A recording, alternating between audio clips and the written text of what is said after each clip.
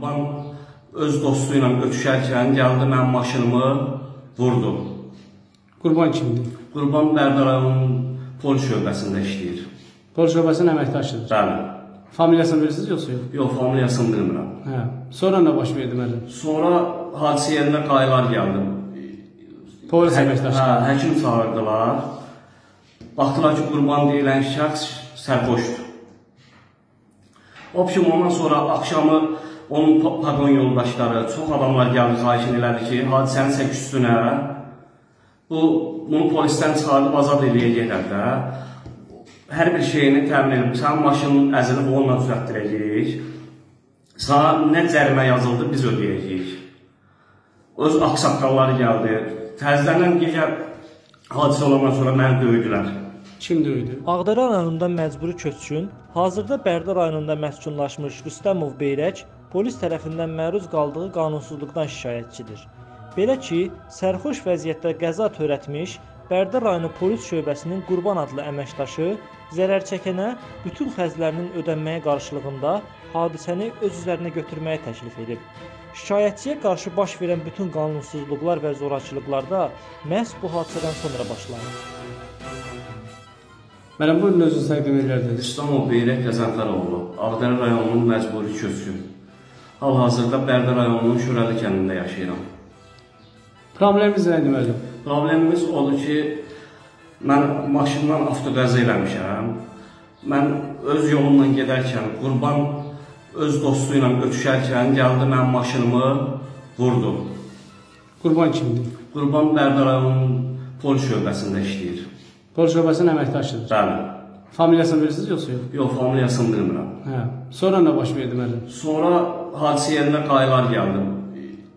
Polis əməkdaşı. Hə, həkim çağırdılar. Baxdılar ki, qurban deyilən şəxs sərxoşdur. Obşum ondan sonra axşamı onun pagon yoldaşları, çox adamlar gəldi, xahiş elədi ki, hadisənin çək üstünə bu bunu polisdən çıxardıb azad eləyə gedər də. Hər bir şeyini təmin edib, sənin maşının əzilib onunla düzəltdirəcəyik. Sana nə cərimə yazıldı, biz ödəyəcəyik. Öz axsaqqalları gəldi. Təzədən gecə hadisə olandan sonra məni döydülər. Kim döydü? Qurban idi, qurbanın qaynı idi, bir də bir ayrı bir oğlan idi. Harda oldu hadisə bu? Hadisə Kapital Bankın böyründə. Məni elə bir hadisə yerindən çağırdılar, başqa qıraqda orada döydülər. Bağlı, kiməsə, onunla bağlı kiməsə müraciət etmisiniz yoxsa yox? Bərdə polis şöbəsinə müraciət eləmişəm. Prokuraturaya eləmişəm. Heç bir kəs mənim şikayətimə baxmır. Kimdən kömək istəyirsiniz?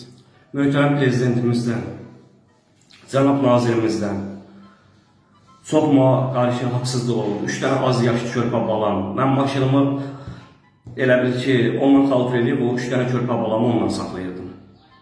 Siz bayaq bir dediniz ki, mən bu haqda Daxili İşlər Nazirliyinə Məktub hə, göndərmişəm mən. Prezident aparatına. Da göndərmişəm. Daxili İşlər Nazirliyinə də göndərmişəm. Hadisə elə olan kimi prokuraturaya savalı göndərmişəm. Heç bir kəs mənim hadisəmə baxmır.